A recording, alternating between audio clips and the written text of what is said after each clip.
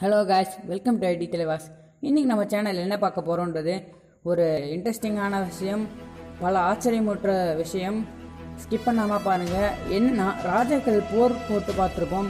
ஆனால் அந்த போருக்கு பயன்படுத்துகிற ஆயுதங்களை அவங்க கண்டுபிடிச்சியும் அதை மற்ற நாடுகளுக்கு இன்ட்ரடியூஸ் பண்ணியும் பார்த்துருக்க மாட்டோம். ஆனால் ரியலாக அதை பண்ணிருக்காங்க. மற்ற நாடுகளுக்கு இன்ட்ரடியூஸ் பண்ணிருக்காங்க. ஆயுதங்கள் பலதை கண்டுபிடிச்சிருக்காங்க.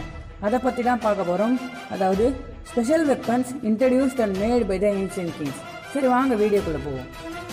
அஞ்சு ஆயுதங்களுமே பக்கா மாசாக இருக்கும் சரி முதல் ஆயுதத்தை பார்ப்போம். எக்ஸ்போ ஆர் கிராஸ்போ மங்கோலியன்ஸை பற்றி தெரிஞ்சவங்களுக்கு கண்டிப்பாக இந்த வெப்பனை பற்றி நல்லாவே தெரியும். இந்த சூப்பரான வெப்பனை இன்ட்ரடியூஸ் பண்ணவர் ஒரு மங்கோலியன் கிங் இவர் மோஸ்ட் ப்ரூட்டல் கிங்னு சொல்லுவாங்க. ஏன்னா இவர் கிரேட் வால் ஆஃப் சைனாவை உடச்சி தான் சைனாக்குள்ளேயே என்ட்ரானவர் அது மட்டும் இல்லாமல் காமனாக மங்கோலியன்ஸ் ரொம்ப கம்மியான ஹைட்டில் தான் இருப்பாங்க. அந்த கம்மியான ஹைட்லேயும் அக்யூரேட்டாக அட்டாக் பண்ணுறதுல இந்த மங்கோலியன் கிங் வல்லவராம். இவர் தான் ஜெங்கிஸ் கான். இவர் இந்த எக்ஸ்போவை கண்டுபிடிக்க முக்கியமான காரணமே என்னென்னா இவங்க யூரோப்பியன் நாட்டுக்குள்ளே என்ட்ராகச்சு யூரோப்பியன்ஸோட ரொம்ப குள்ளமாக இருந்தாங்க. அதனால் யூரோப்பியன்ஸ் ஈஸியாக இவங்க டிஃபீட் பண்ணுற லெவலுக்கு போயிட்டாங்க. அதனால் யூரோப்பியன்ஸை நம்ம விடக்கூடாது. எப்படியாவது நம்ம அவங்க டிஃபீட் பண்ணணும்னு வந்து கஷ்டப்பட்டு கண்டுபிடிச்ச எக்யூப்மெண்ட் தான் இந்த எக்ஸ்போ இந்த மங்கோலன்ஸ் கிட்ட ஒரு ஸ்பெஷாலிட்டியே என்னென்னா இவங்களோட அட்டாக்கிங் டாக்டிக்ஸ் தான். ஏன்னா இவங்க பேய்கள் போல் பறந்து வந்து அட்டாக் பண்ணுவாங்களாம். திடீர்னு அட்டாக் பண்ணுவாங்களாம். இது ரெண்டுலேயும் இவங்க வல்லவன்கள்னு சொல்லப்படுறாங்க. அது மட்டும் இல்லாமல் இந்த எக்யூப்மெண்ட்டை பற்றி பார்க்கணும்னா எக்ஸ்போ சின்னதாக இருக்கும். இந்த பவ்வோட நான் நரம்புகளாலையும் அந்த போ ஆடுகளின் கொம்பாலையும் செஞ்சுருக்காங்க இந்த வெப்பன் இல்லாமல் ஜெங்கிஸ்கான் யூரோப்பியன் கண்ட்ரியில் அட்டாக் பண்ணதா சரித்திரமே இல்லையா? இத்தனை சாதனைகளை படித்த ஜெங்கிஸ்கான் என்ன சொல்லியிருக்காருன்னா if you are afraid don't do it if you are doing that don't being afraid ஒன்று செய்ய பயந்தால் அதை செய்யாதே. அப்படி செய்தால் அதை கண்டு பயப்படாதேன்னு சொல்லியிருக்காரு அவ்வளோ பெரிய தைரியசாலி ஜெங்கிஸ்கான் செகண்ட் மாசான ஆயுதம் என்னன்னு பார்க்கணுன்னா அது கெனான் இதை பீரங்கின்னு சொல்லுவாங்க. இதை இந்தியாவில் ஸ்பெஷலாக இன்ட்ரடியூஸ் பண்ணவங்க யாருன்னு தான் பார்க்க போகிறோம் இதை இந்தியாவில் ஸ்பெஷலாக இன்ட்ரடியூஸ் பண்ண ஒரு முகல் கிங் இவர் fifteen twenty six April twenty ஃபஸ்ட்டில் டெல்லி சுல்தானேட் இவங்க தான் டெல்லி ஆண்டு வந்தாங்க அந்த டைமில் இப்ராஹிம் லோடி அவரை போட்டு தள்ளிட்டு இந்தியாவுக்குள்ளே என்ட்ரானவர் இவர் உஸ்பெகிஸ்தானை சேர்ந்தவர்னு கண்டிப்பாக சொல்லி ஆகணும். இவர் தான் பாபர். இவர் இந்தியாவை கான்கவர் பண்ணவே இந்த கெனானை தான் யூஸ் பண்ணார்.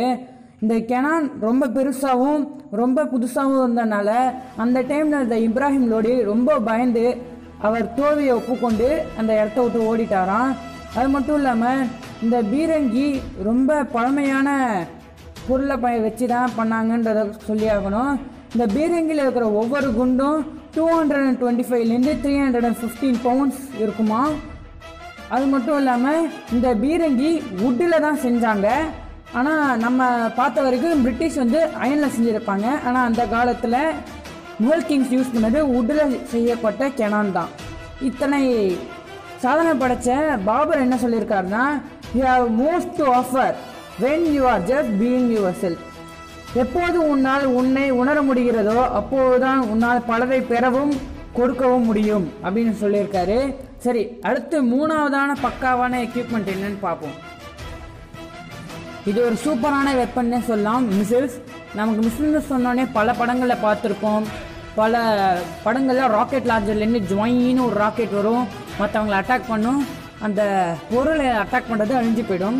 இந்த சூப்பர் அட்வான்ஸ் மெகா வெப்பன் சொல்லப்போனால் ராக்கெட்ஸ்க்கே முன்னாடி நாசாவால் புகழப்பட்ட வெப்பனை கண்டுபிடிச்சவர் ஒரு இந்தியன் கிங்னு சொல்கிறத நம்ம பெருமைப்பட்டு ஆக வேண்டும். இந்த ராஜா டைகர் ஆஃப் மைசூர்னு புகழப்படுறாராம் இவர் ஃப்ரீடம் மூமெண்ட்டில் முக்கியமான ஒரு பங்கை வகிச்சிருக்காரு. இவர் பேரை கேட்டாலே பல பிரிட்டிஷ் பயந்து ஓடுவாங்களாம். அவரோட பேர் தான் டிப்பு சுல்தான்.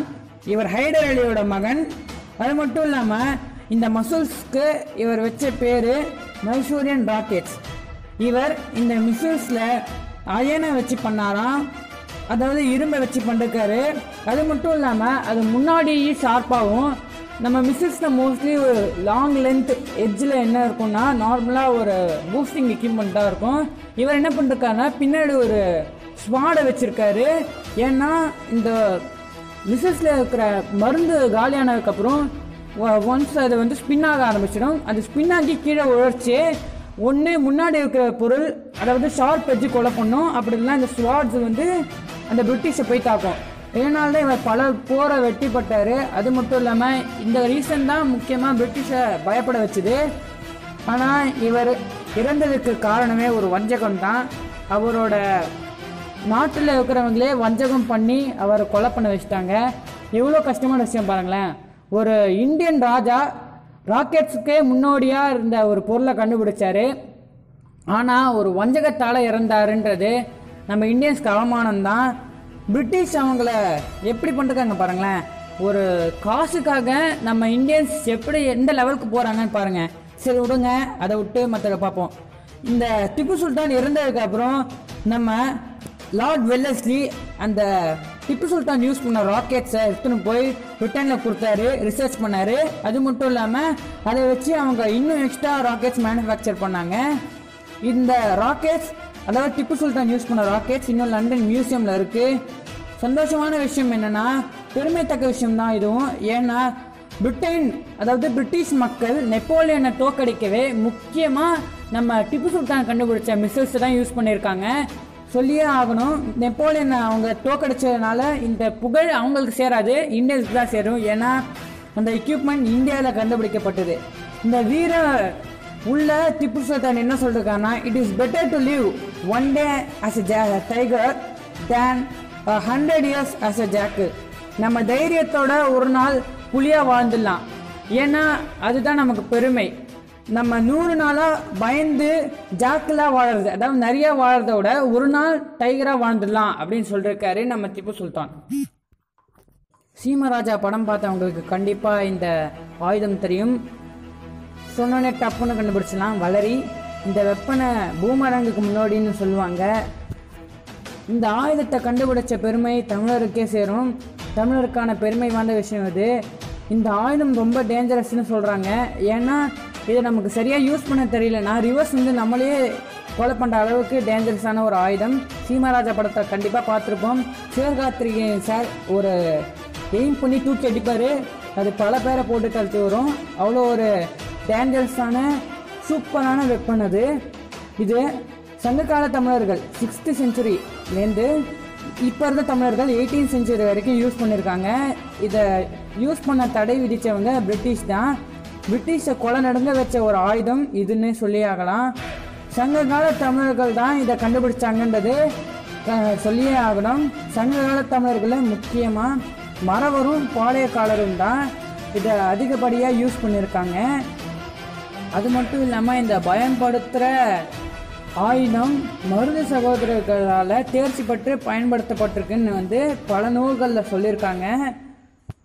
ஆனால் ஒரு சோகமான விஷயம் என்னென்னா இதை தூக்கி எறிகிற கலையும் அது மட்டும் இல்லாமல் தமிழர்கள் கண்டுபிடிச்ச பல ஆயுதங்களும் பிரிட்டிஷால் மறைக்கப்பட்டு அழிக்கப்பட்டதுன்றது தான் ஏன்னா அவங்க நமக்கு தலை விடித்தது மட்டும் இல்லாமல் நம்ம ஆயுதங்களை அவங்க எடுத்துன்னு போய் அங்கே ரிசர்ச் பண்ணி அதை பற்றி நிறைய விஷயங்கள் தெரிஞ்சுருந்தாங்களே தவிர நம்மளை எதையும் தெரிஞ்சுக்கூடல. அதனால் கண்டிப்பாக நம்ம ஒரு ரிசர்ச் நடக்குதுன்னா அதை பற்றி தெரிஞ்சுக்கணும். நிறைய நாலேஜ் கெயின் பண்ணி நம்ம நாடை முன்னேற ஹெல்ப் பண்ணணும்.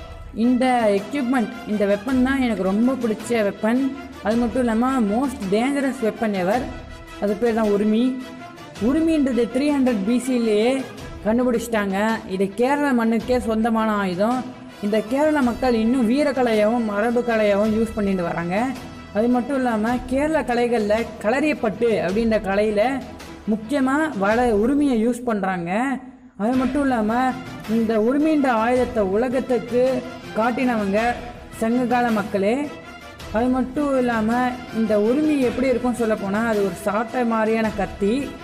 அது மட்டும் இல்லாமல் இதை சரியாக யூஸ் பண்ண தெரியலன்னா நம்மளே போட்டு தள்ள அளவுக்கு டேஞ்சரஸ் ஆனது இந்த உரிமை ஃபைவ் பாயிண்ட் ஃபைவ் ஃபீட் நீளம் இருக்கும்.